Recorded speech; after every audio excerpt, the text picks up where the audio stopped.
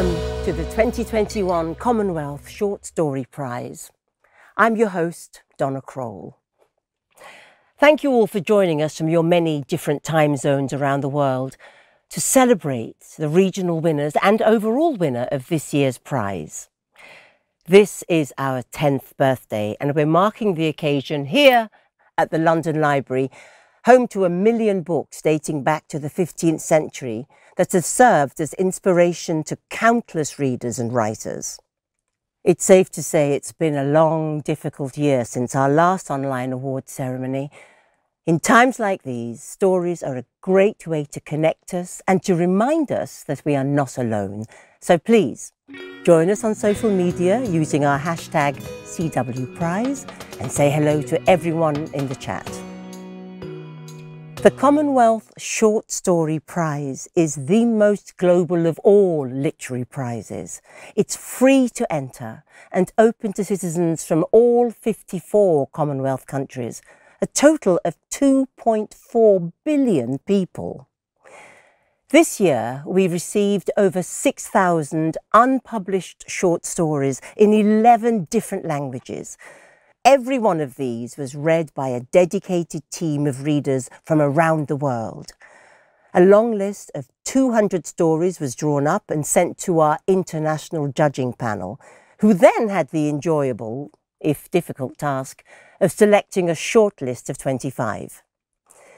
This year's judges are Igoni Barrett, Africa, Khademul Islam, Asia, Keith Jarrett, Canada and Europe, Diana McCaulay, Caribbean, Tina Makereti, Pacific.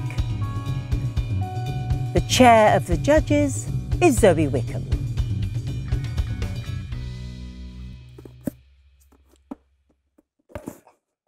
From the shortlist, the judges selected five outstanding regional winners.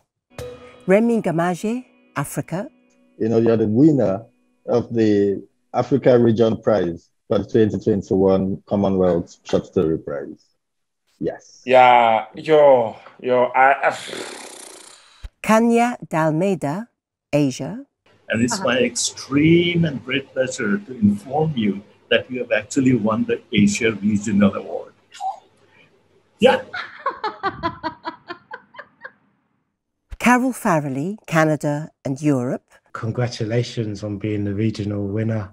Um, oh my God. Story. Um, it's absolutely incredible. Oh, that's amazing. Thank you so much. That's brilliant. I don't know what to say. Roland Watson Grant, Caribbean. You are the regional winner for the Caribbean. people, people don't get these emotions out of me. Okay, but this one. Wow. Katerina Gibson, Pacific. We'd actually like to name your story as the um, winner of the Pacific Region uh, Commonwealth Short Story Prize. Each regional winner receives an award of £2,500 and the overall winner receives £5,000. Our partners here at the London Library are also giving each regional winner a one year full individual membership granting them in-person and remote access to all the library's resources. This year's overall winner receives a two-year full individual membership. We're very grateful to the London Library for their generous offer. To hear more about this fabulous location, we're joined now by the director, Philip Marshall. Well, the London Library has been a centre of creativity, inspiration and ideas for 180 years, we have a collection of around a million books here and some wonderful spaces to sit, to read and write. That's why the library's always been a tremendous resource for writers, from Charles Dickens and Virginia Woolf to Tom Stoppard and Sarah Waters. In recent years, we've also developed a vast online collection of journals and ebooks, and we regularly stream discussion events with writers talking about their work.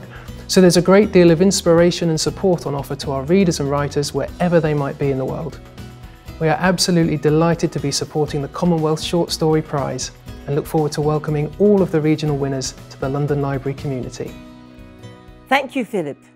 I'm tempted to join myself.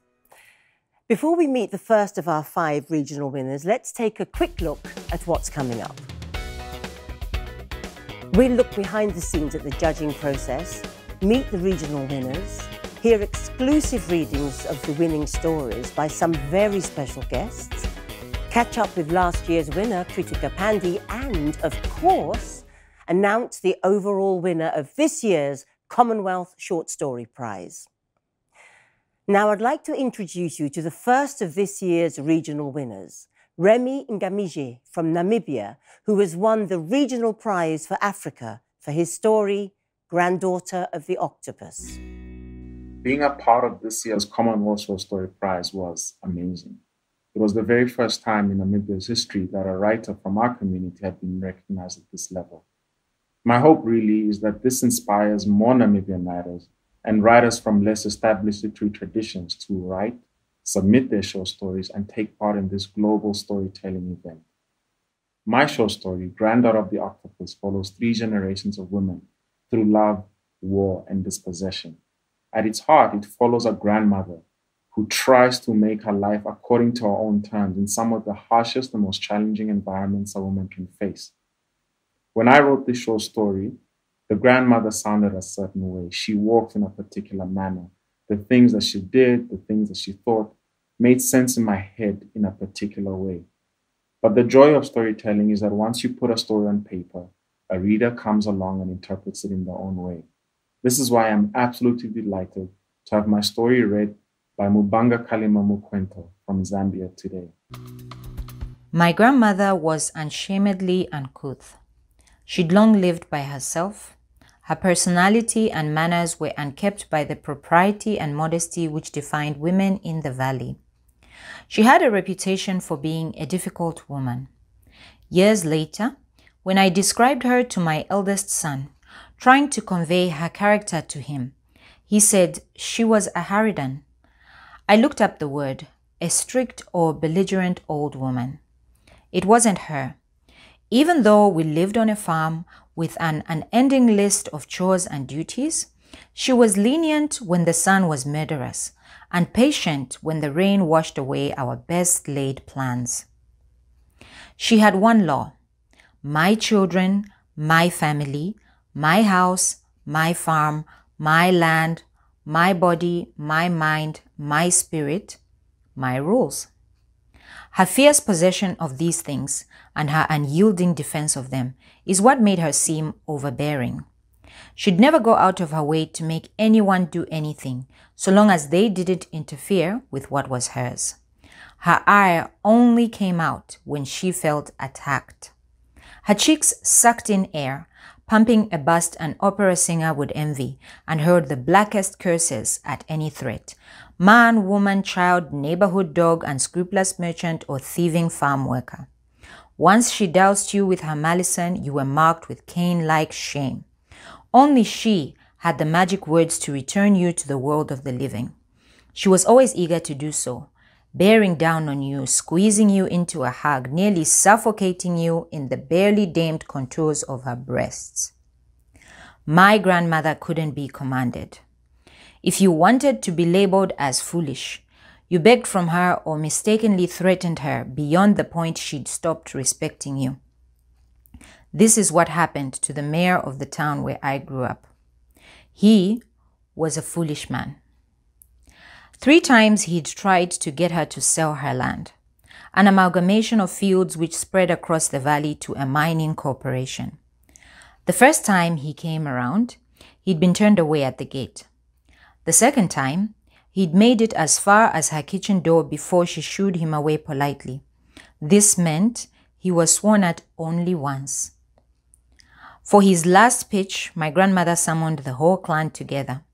All my uncles took leave from their jobs in the city to make the long drive home. Even my father, who I hadn't seen in years, made the familiar Hajj.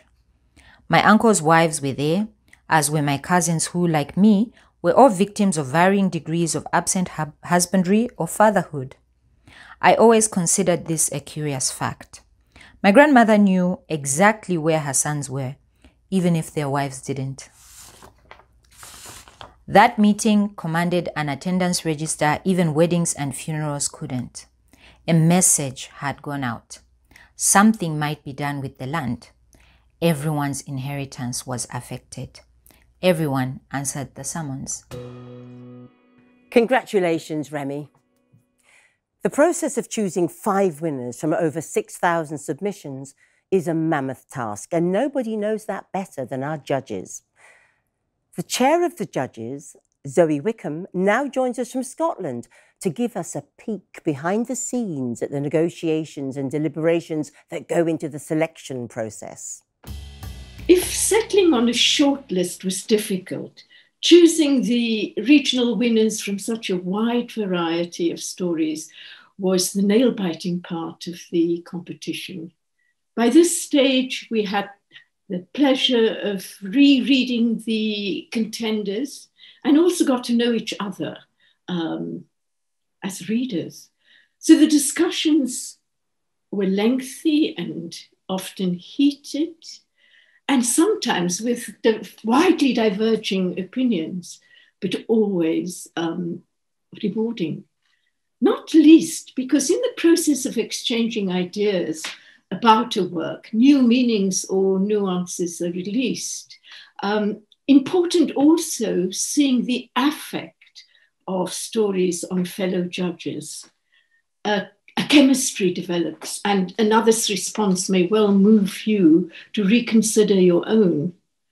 So I'm grateful to the judges who, as you'll see, had plenty to say in the process. Please, Today, of yeah. course, we're going to have to achieve two things, which is to choose the regional winners and also our overall winner. When I got, I mean, even the descriptions that follow in that paragraph I, I thought were so vivid and, and just pulled me in. And then we get to the grandmother, and I'm completely sold at that point. Yes.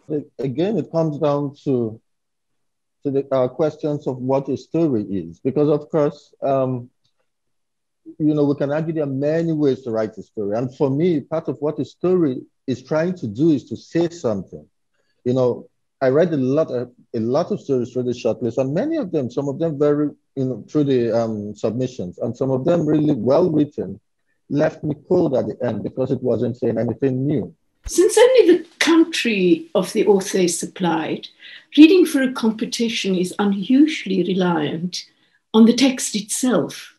Not surprisingly, then, we often disagreed on the meanings and merits of stories. So it was important not only to have the insights of judges with cultural knowledge of the region, but crucially to have no time restrictions on our deliberations. I, I suppose I thought it was just a bit repetitious and, and I think that's the the point of it because it it just gradually creeps up. There's this person who we know is taking over, and then they do, and then then the cycle continues, and there's the invasive yeah. and the and the conversations which are uncanny, and all of the, like I I thought yeah. just that sense of uneasy. It was a bit yeah dread reminded yeah. me of some kind of like cortázar or something i mean i think it's yeah. a bit adam and eve but i don't think it's strictly allegorical i think it's a yeah. it's a utopian it's a utopia that turns into a dystopia and kind of oh, plays with the idea with well, it plays with the idea of if we started again would we be able to manage these gender relations in a way that um, isn't adam and eve like you know, woman woman still brings evil into the world by defending us. It's just playing with a lot of really interesting. It's, it's fluent. It's fluent writing. You know, the writing has a fluency that. That's beautiful that, writing. Yeah, it may be. It may be but, a reflection yeah. of the struggles that always take place between the world of PC, politically correct, and non-PC and the yeah, struggle to adjust and accommodate accommodate accommodate these yeah. things and these parameters. And this is the story of course in the microcosm but the larger story is that and and the way that it has been framed is it just allows you to laugh at something that can get very tense it's kind of skewering the the canon a bit and the way we we, we all yeah. decide what is good and what is not it's kind of which, skewering the which, process which the author has a perfect right to do as long yeah. as it is readable and witty and funny and i would it, to me no i'm, I'm la- saying that's laugh out. yeah yeah yeah okay okay. I mean, for me, there was no question. It was the funniest story on this. Yeah, yeah, of the whole lot. Now let's meet our second regional winner, Kanya D'Almeida from Sri Lanka, with her short story, I Cleaned the. For many years now, I've been on a mission to acquire, to archive, and sometimes to invent the stories of women that don't get told, particularly in Sri Lanka. And not just any women, the raucous women, the raunchy women, the rebellious, rude, real women who, in some other contexts, might simply be called mad women. And so, winning the regional award for Asia is like a gift. It's the gift of being able to share these stories, these women, with a world of readers that I might not have otherwise dreamt of being able to reach.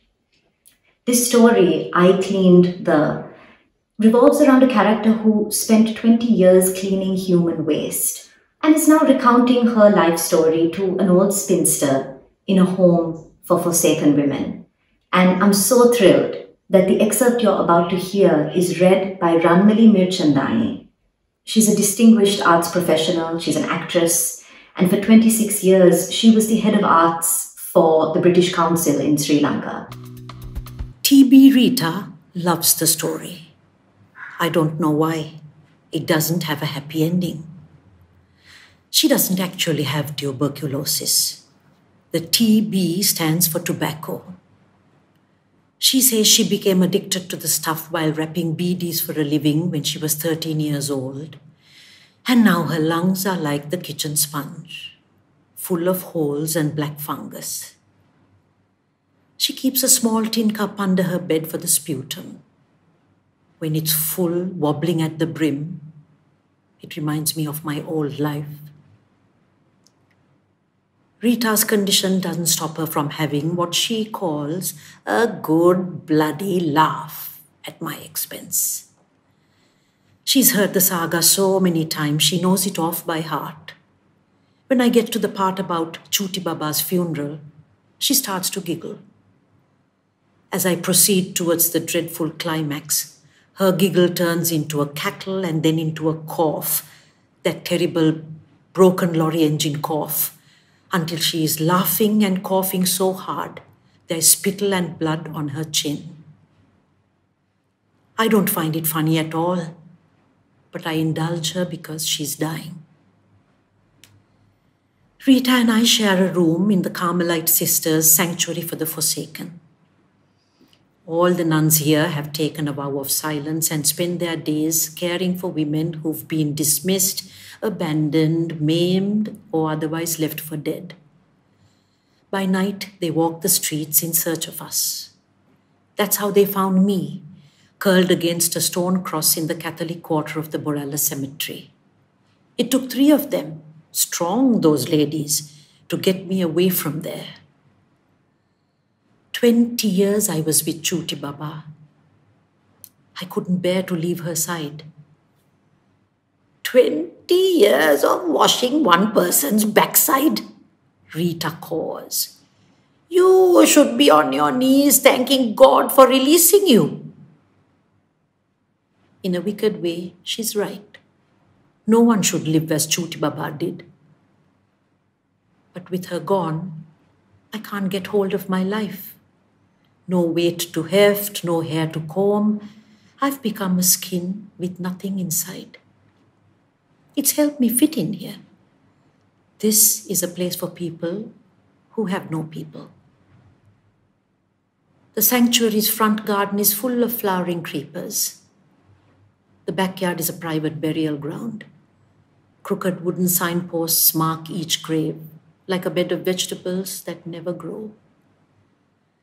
I would like to sit quietly on the veranda overlooking this wilting plot of land, but Rita won't let me. She chatters like a trapped squirrel, prodding, probing. Go and bother one of the others, will you? I say. Those boring hags. Their stories are nothing compared to yours. This is a cracker. One of the best things I've heard in my life. Wow, such powerful writing. Before we meet our next regional winner, let's hear from Anne Gallagher, the Director General of the Commonwealth Foundation, who joins us now from Australia.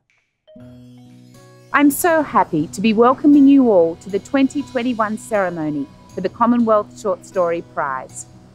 This is a special year for us as we're also celebrating the 10th birthday of this amazing prize. I'm here at the National Library of Australia, formerly the Commonwealth National Library. We are standing on the land of the Ngunnawal people, the first inhabitants of this region. I begin by paying my respects to the custodians and elders of this nation, past, present, and emerging. Thank you everyone for joining us. It means so much to the Foundation and of course to our talented regional winners to have you here. The Commonwealth is home to 2.4 billion citizens, around a third of humanity. Our job at the Foundation is to do everything possible to connect the people of the Commonwealth with each other, to make the voices of Commonwealth citizens heard on matters that affect their lives. We're so proud of the prize, not least its truly global outlook. It's wonderful that all the winners are here with us today from Namibia, Sri Lanka, Scotland, Jamaica, and Australia. Our thanks to all the readers and judges who work so hard to find the very best short stories from around the Commonwealth. I still can't believe that it's part of my job to read such wonderful writing. For those who haven't yet encountered the winning stories on Granta, you're in for a treat. And like you, I'm so excited to find out who the winner is. Now, it's my great pleasure to introduce our third regional winner, my fellow Australian, Katerina Gibson, who won the prize for the Pacific region with her exceptional story, Fertile Soil. Congratulations, Katerina. I'm beyond stoked and very moved to get this far in the Commonwealth Writers' Prize. Being a writer in Australia means you have to swim upstream against a lot of anti art sentiment, but within the writing community, we have such a wonderful and diverse array of writers and readers, and it's an immense privilege to be surrounded by encouraging and talented people. A lot of where I'm coming from as an Australian writer is asking myself not just what I'm writing, but why I get to write it. So it means so much to me that this story has been chosen to represent not just Australia but the Pacific region, and to get to be a part of this community as well. Fertile Soil is about colonial inheritance, naturalization, both in nature and in life, I'm asking questions of what it means to be a white settler in a country that is founded on violence, but it's much more literally about a woman coming undone, deja vu, the unsettling feeling of being slowly replaced. So I'm delighted to introduce the lovely, warm Francesca Savage, who has gracefully agreed to read an extract from my story. It fell silent between us while he poured himself a glass of wine and I asked him to forgive me. But what was his name? At this point, the young man looked up from his pouring. For a second, I saw his face. Devastated. But we've met, he said as his wineglass filled to the brim. I thought, he said. But then his glass overpoured, and although I tried to apologize, I saw that tears had welled in the corner of his eyes. He then, realizing a great quantity of his wine had spilt down his front onto the floor, said, Oh God, what a mess, and ran off. He left not to the kitchen, but in the direction of the front door, and I didn't see the young man again. It was instances like this that brought on me a peculiar dawning or feeling of erasure, like the city was conspiring against me as if the weather, threatening 40 degrees for three weeks without reprieve, was causing a form of heat stroke that was affecting my short term memory. My connections to other people seemed tenuous, began to make less and less sense. For days, I fretted over what was causing my disservice to so many people. What had happened that I couldn't remember that sensitive young man? What was making me forget the life details of acquaintances? Or, in fact, the acquaintances themselves? And still the encounters went on. An old friend texted to say it was lovely running into me. My doctor told me I was already up to date with my pap smear. And when I went into a bookstore on a whim one afternoon, the bookseller smiled and said, Back so soon? I began to fear I was developing early onset Alzheimer's until I opened that door one afternoon and saw her, chest heaving, rummaging through a backpack. It was at a barbecue. As most parties are in summer, in the culmination of the year, alcoholism ran rampant, and the day to day obligations of routine, of work, of exercise, of appointments were discarded for the condensation collecting on the outside of a bottle. The time of year when the sun goes down, but the heat never lets up. Nor the mosquitoes. The days bleed one day into the next, morphing into one another. Which is to say, I cannot point now precisely to which door it was, which party, or whose house I was in when the doorbell rang. I was the only person in the kitchen. All the other guests had retreated to the back deck. I opened the catch and knew immediately, in a sigh of relief. It was not me, but the young man and many other strangers like him that were mistaken. I greeted myself with a small smile. Many congratulations to you, Katerina, for your beautiful work.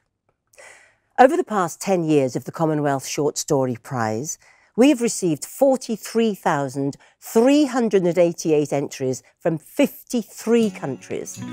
Including this year, we have had 11 winners. Let's take a look at the talented writers who have won the prize over the past 10 years.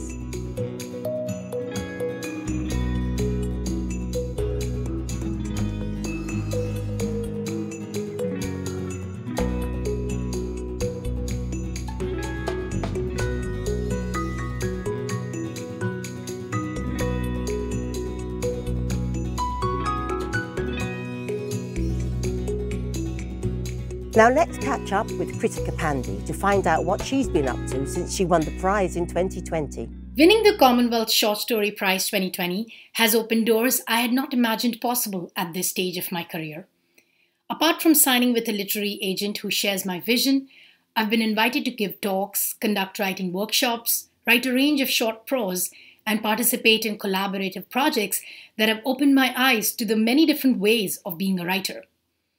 Most importantly, because writing and self doubt are two sides of the same coin, the overall sense of confidence that the prize has instilled in me is something I'd be eternally grateful for. I'd like to introduce the fourth regional winner of this year's prize for Canada and Europe, Carol Farrelly from Scotland, who won for her story, Turnstones. I'm thrilled and honoured to be a regional winner in the 2021 prize. It can be quite a solitary craft writing, and it's felt even more solitary this year. But it's always a leap of faith and a wanting to connect. And to me, that's what the Commonwealth Writers is all about. So to win this prize in particular feels special. The judge, Keith Jarrett's comments were so generous, and that means the world. And that's always the best reward a generous reader responding to my story and bringing it alive again. So, Turnstones tells the story of a young woman at a prestigious university who is battling the feeling that she doesn't belong. And that feeling for her has a long history, an intergenerational history. It's a story that rails against gatekeepers, but also asks what do we want to find or make once or if we get beyond those gates? It's also a tale about a flock of birds in a library on a stormy night.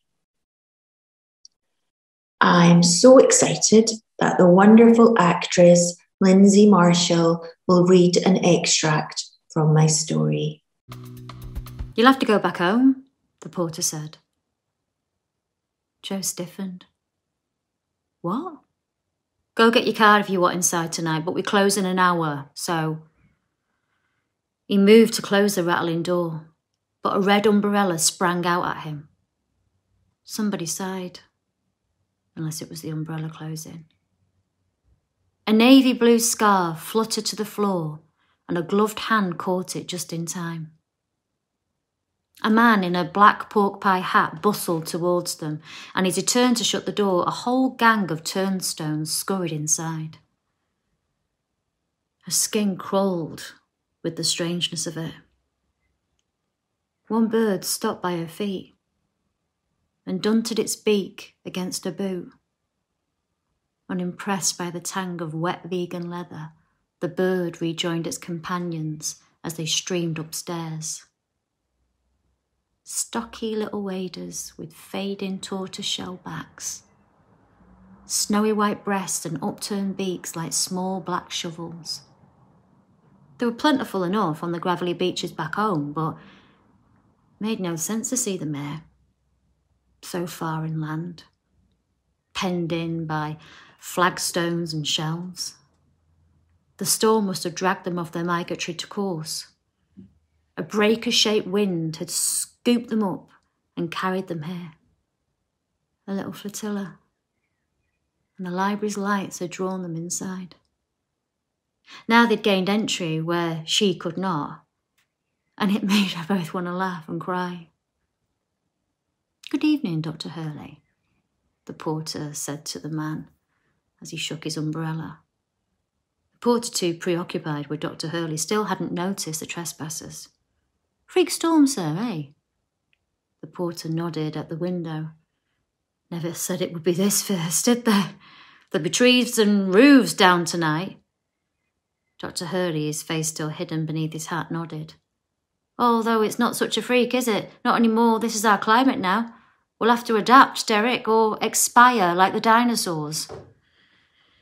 Dr. Hurley tapped the turnstile with his hat. The porter jumped and buzzed him through without one flash of a card. The man hummed a tune as he climbed the stairs, and a bird trailed behind him.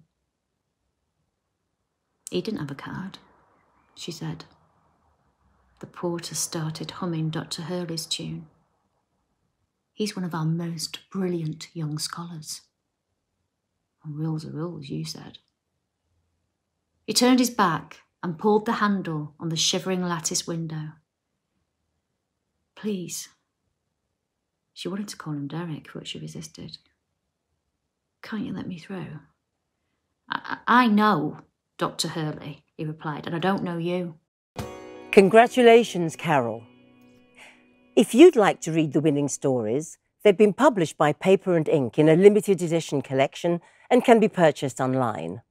You can also read the shortlisted and winning stories on Adda, the Commonwealth Writers online magazine. And now it's my pleasure to introduce our fifth regional winner, Roland Watson Grant, a fellow Jamaican, who won the Caribbean Regional Prize with his story, The Disappearance of Mumma Dell. The Disappearance of Mumma Dell is a story about things vanishing.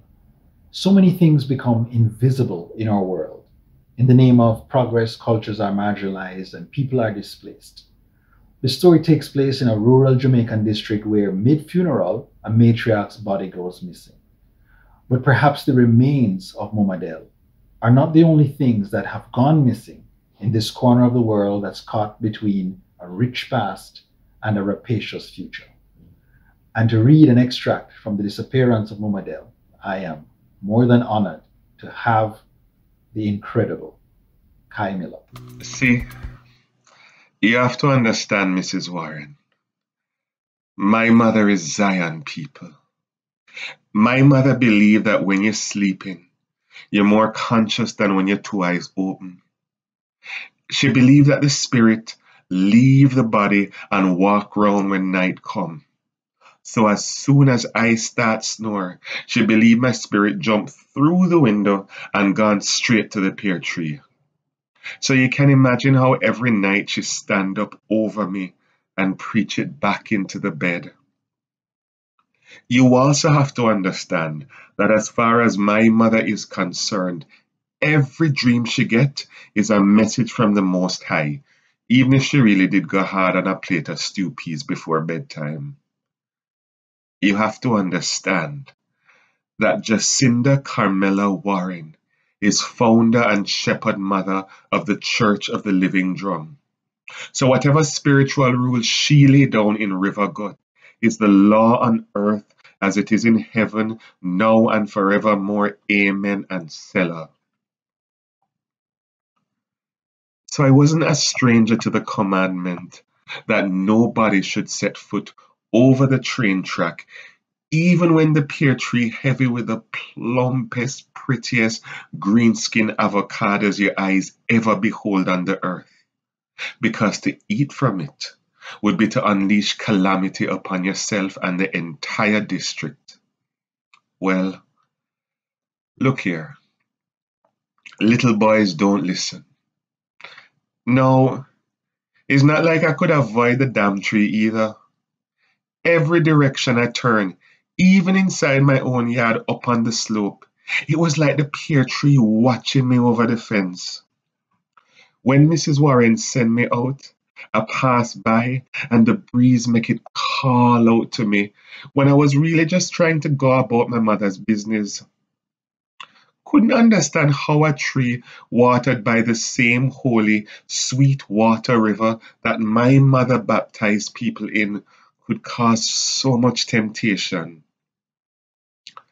Mrs. Warren said that back in the 90s, when Jamaica Railway used to rumble through River Gut, carrying people instead of bauxite. Folks would pick pear and do brisk business with passengers before the train chugged back into the bush. But over time, the cargo turned pay dirt and the tree grew into a mystery. Anyway, follow me now. The same night after Mrs. Warren wagged her finger at me, Maybe my spirit really did climb through the window and go down the hill because I dream I see myself over the barbed wire fence staring up into the avocado tree. And let me tell you, it was like the heavens open up and show me a vision like the prophet Ezekiel. Overhead, the Milky Way was shimmering as if God spilled salt over a marble kitchen counter. Every once in a while, a star would slip out of place and skid across the sky like a raindrop against a windshield. And the tree, hallelujah, the tree was heavy with avocados shining like they soaked up all of the sunset. So I pick a low hanging pear and strip off the skin and wolf it down with salt that I scooped off the sky. Well, no doubt Mrs. Warren hear me gobbling the imaginary avocado in my sleep. Because next morning she put down one piece of preaching up at the church. Yes, man. Shepherd Mother set up a deliverance table that Sunday. Now, a deliverance table is not a normal thing at the Church of the Living Drum. When you see a deliverance table, it means there is a serious confrontation between good and evil, and Shepherd Mother was going to call for backup from the sky. Many congratulations to you, Roland, and a huge thanks to all our readers for their wonderful interpretations of these beautiful stories. I cannot emphasize enough that each of the five authors you've heard from today is a winner. Our judges, themselves from all five regions of the Commonwealth, had to go one step further. After hours of reading, discussing, and rereading, they had to choose one overall winner of the 2021 Commonwealth Short Story Prize. Will it be Remy Ngamije for Granddaughter of the Octopus, Kanya D'Almeida for I Cleaned the, Carol Farrelly for Turnstones, Katerina Gibson for Fertile Soil, or Roland Watson Grant for The Disappearance of Mumma Dell. The winner of the 2021 Commonwealth Short Story Prize is Kanya D'Almeida oh. for I Cleaned the. Congratulations, Kanya. Oh my goodness, thank you. Thank you so much. I, I'm I'm lost for words. I'm not I'm not thank you.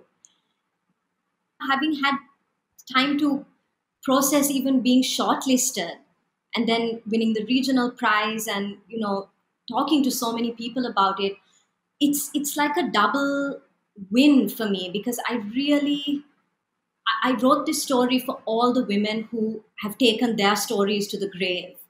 And i just i feel so so privileged to be able to share even more of these stories with the world and, and just to encourage other women to tell their stories too. So it, it's it's really it's extremely special. And gosh i'm, I'm really moved. I'm, I'm really trying hard not to break down in tears. Thank you so much. Wow. Huge congratulations to you kanya. Congratulations also to all our regional winners, as well as our shortlisted and longlisted writers. It's been a privilege to read your stories. As Chimamanda Ngozi Adichie said, when we read human stories, we come alive in bodies which are not our own. Don't forget submissions for the 2022 Commonwealth Short Story Prize will be open from the 1st of September 2021. So make sure you send us your stories. We'd love to read them. Maybe next year you'll be joining us at the awards. On behalf of the Commonwealth Foundation, Commonwealth Writers, and our friends here at the London Library, we wish you and your loved ones a happy and healthy year to come. We'll see you next year. Goodbye.